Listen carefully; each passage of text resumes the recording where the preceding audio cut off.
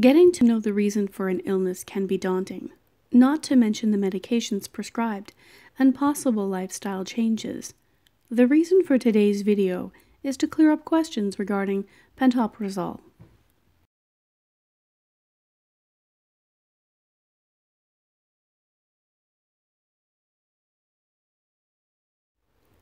This drug is being prescribed because the acid from the stomach is causing damage. Places that could potentially be harmed would be the esophagus, lining of the stomach, or intestine. The damage from acid can also be referred to as ulcers.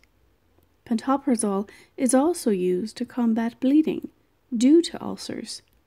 It can be given as a tablet to be swallowed without being crushed or through an IV.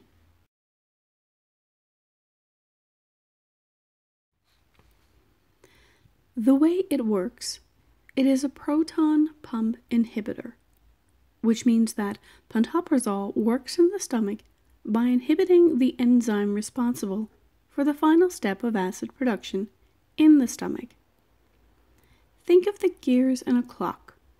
If you plug one of those gears, the clock stops. In the same way that mechanism of the time is interrupted, the interruption of the acid production stops the acid from causing any further damage, allowing the body to heal itself. It is usually used for short term, meaning that usually it is used for less than six months, as people see an improvement in their condition. There will be a noted improvement of signs and symptoms. There are follow up blood tests collected to monitor the healing in the body. Dependent upon how much damage there was to the body, the frequency of blood tests can vary. Do not take pantoprazole if you are under 18 years of age, pregnant, or may become pregnant.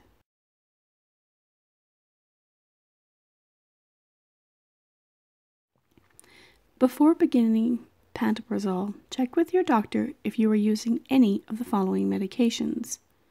Rilpivirine will cause the pantoprazole not to be effective, and it may make you more susceptible to colds and flus.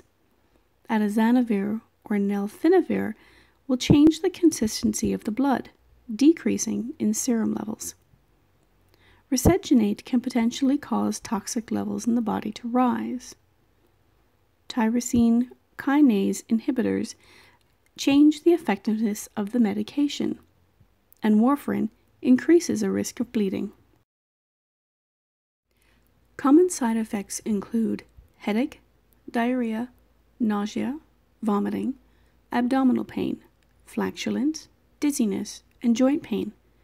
When administered through IV, there may be a reaction at the site, constipation, insomnia, and a runny nose.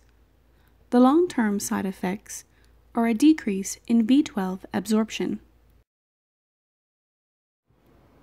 Please contact an emergency personnel immediately should you note the following adverse effects blistering, increased thirst or increased urinary frequency or quantity, problems breathing, discolorations of the skin, swelling or distortion of muscle, rash, bone weakness, distension of the abdomen, clotting, and slow blood clotting.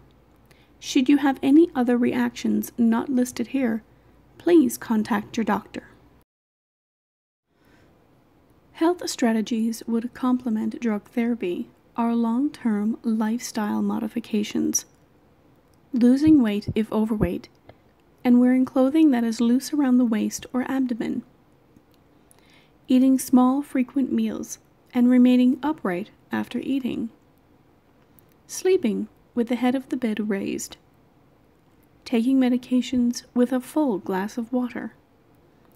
Avoiding high fat foods such as chocolate, peppermint, alcohol, and caffeine. And to stop smoking.